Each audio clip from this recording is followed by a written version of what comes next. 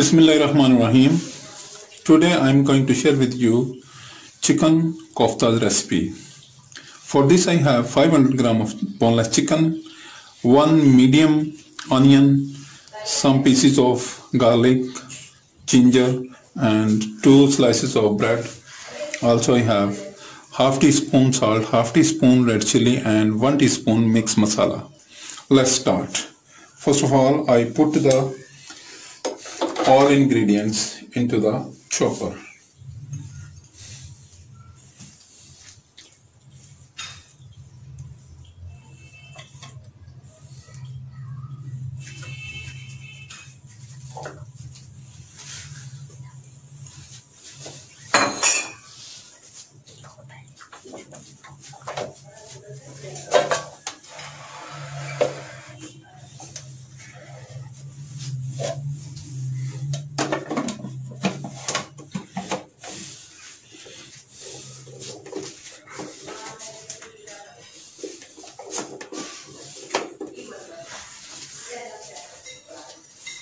Now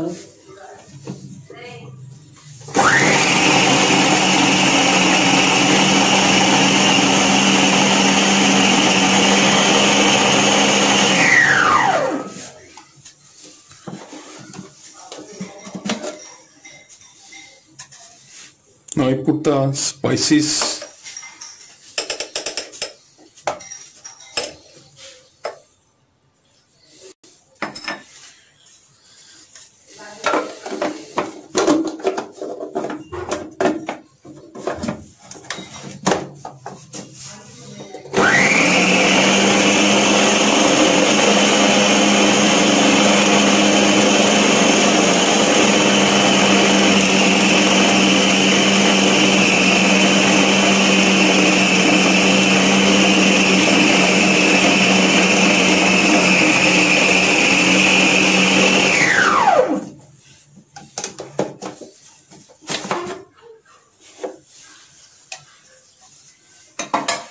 अब मैं इसमें now I put the slices of the bread into the chopper to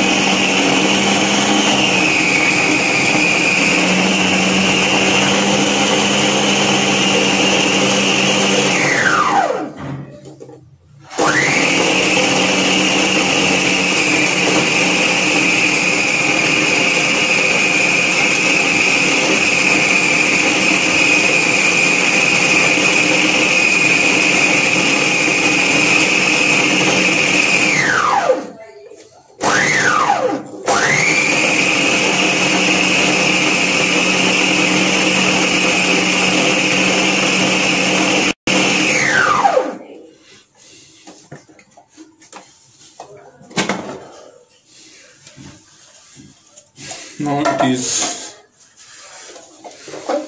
ready and I put it into the platter and make the balls.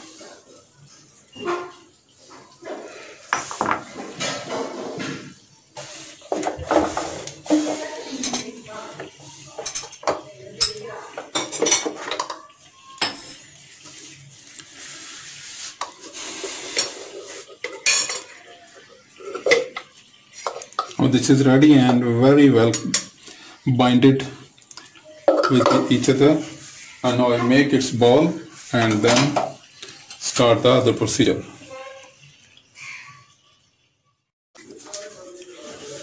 Now I have prepared the balls and now I fry the chicken balls. I put the oil into the vase and wait to it become normal to hot आज मैं आपके साथ chicken के कोफ्ते बना रहा हूँ। उसके लिए मैंने पाँच ग्राम बोनलेस चिकन लिया और उसके मीट बॉल बना लिए।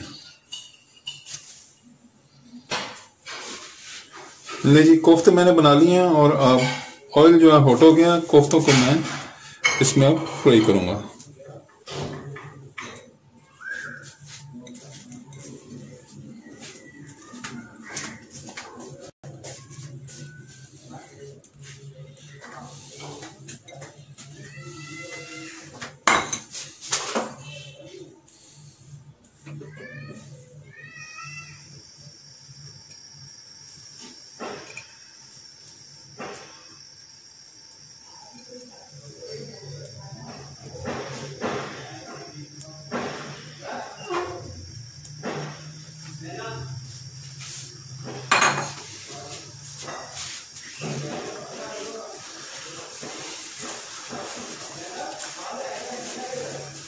जैसा कि मैंने आपको पहले बताया, मैंने 500 ग्राम बोनलेस चिकन लिया एक छोटा प्याज और चंद जो है जब मैंने लहसन के लिए और उसके बाद मैंने इसको चॉपर में चॉप कर लिया, थोड़ा सा अदरक भी इसमें इस्तेमाल किया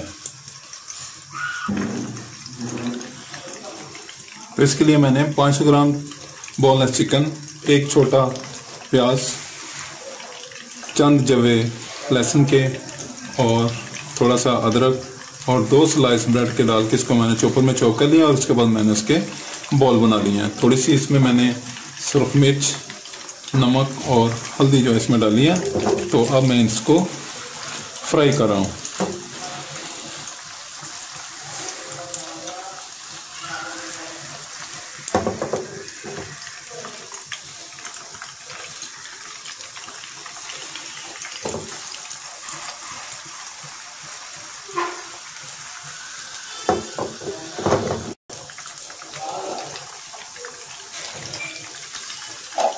ये बड़े अच्छे हल्के से जब गोल्डन हो जाएँगे और अंदर तक पक जाएँगे तो तब मैंने निकाल लूँगा।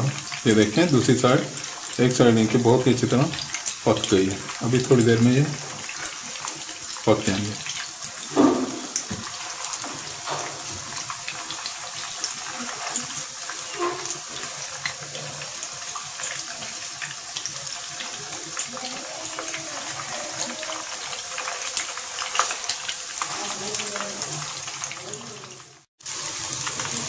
Now balls are frying very well.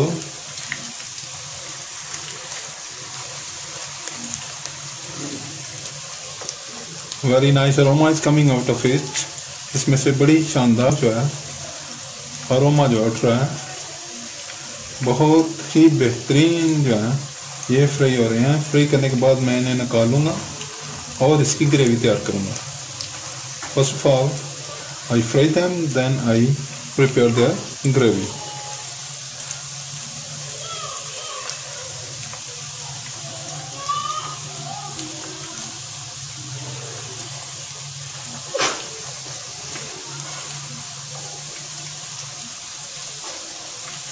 I'm frying it very well because I need to cook them from inside too.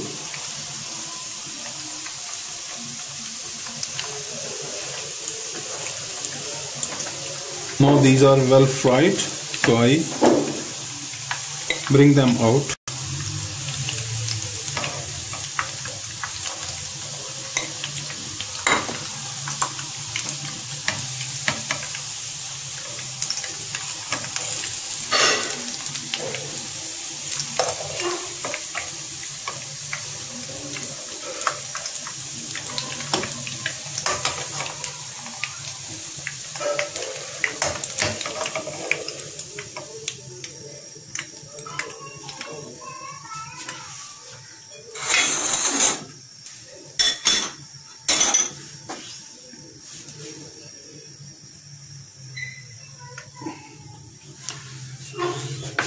now I fry the onion.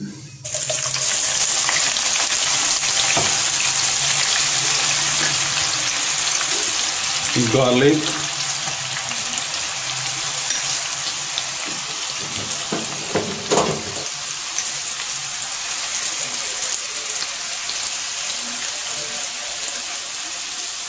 तो मैंने उसी ऑयल में जो है ऑनियन और गार्लिक को जो है मैंने डाल दिया। और ये थोड़े से सोखे हो जाएँगे तो इसमें मैं बाकी के स्पाइसेस और टमाटर का जो है डाल दूँगा। ये मेरे पास एक कप जो है, वो टमाटो पेस्ट है। ये टमाटो पेस्ट भी इसमें डाल दी। और मेरे पास one teaspoon half teaspoon salt half teaspoon turmeric and one teaspoon red chili ये मेरे पास नटमैक और मेज़ का पाउडर है और साथ में दो कार्डमम है जो मैं बाद में इस्तेमाल करूँगा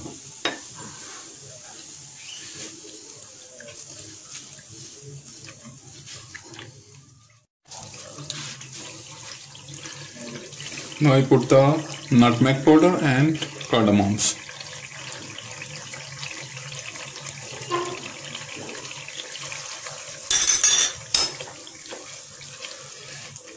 Now I add a little water to tender the gravy or onions. I put the lid on for a two to three minutes. Then I check it again.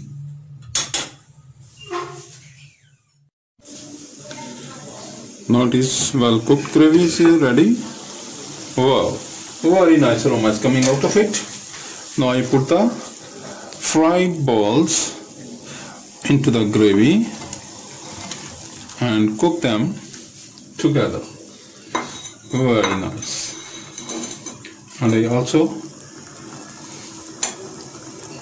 put the mixed spices और गरम मसाला into that ये मैंने gravy में fry किए हुए कोफ्ते और गरम मसाला जो है वो शामिल कर दिया और अब इसको थोड़ी देर तक हल्की आँच में मैं दम लगाऊँगा ताकि कोफ्ते जो हैं, वो अच्छी तरह ग्रेवी में से मसाले को अपने अंदर सोख कर लें।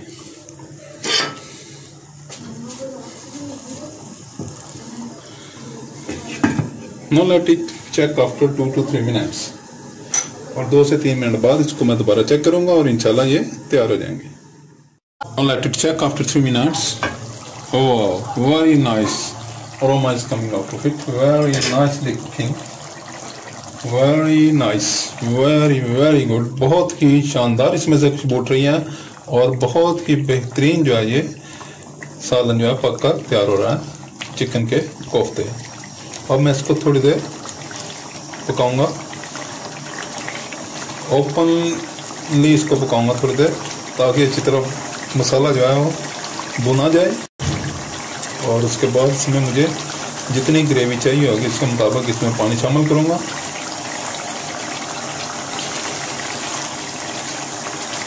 और ये बस थोड़ी देर में तैयार हो जाएगा। ये टोटल आधे घंटे में ये पूरा जो है प्रोसीजर इसका वो तैयार हो जाएगा। आप प्लीज़ ट्राई करें और मेरे साथ अपना एक्सपीरियंस जो है वो शेयर करें। देखिए कैसे फूले हुए बेहतरीन जो है कोफ्ते तैयार हो गए हैं। Now I cook it openly without lid and after cooking some time I add some water and then I cook it again for quite some time and then it is ready. Please subscribe my channel, like my videos, share my videos with friends, family members and people around you. If you have any question in your mind, please write in the comment box. अगर आपने मेरा channel पहले ही subscribe कर लिया है तो मैं आपका बहुत ही शुक्रगुजार हूँ और अगर अभी तक आपने मेरा चैनल सब्सक्राइब नहीं किया तो बर मेहरबानी मेरा चैनल सब्सक्राइब करें। और मेरी वीडियो और चैनल को दोस्तों, रिश्तेदारों और गिरदनवा के लोगों में मुतारफ़ करवाएँ। Now it is ready now I put some water and let it cook for quite some time and I cook it until the required consistency of the gravy. अब मुझे जितनी ग्रेवी चाहिए होगी उस उस वक्त तक मैं इसको थोड़ा सा पकाऊँगा और इसको अब लिड नहीं लगाऊँगा। Now it is done and my koftas are ready और chicken ball curry is ready please try and enjoy and share your experience with me Now I put it in the serving bowl and then I show you again. Now I put the chicken ball curry in the serving bowl and now it is ready. I garnish it with green coriander fresh leaves. Please try and enjoy. If you have any question in your mind, please write in the comment box.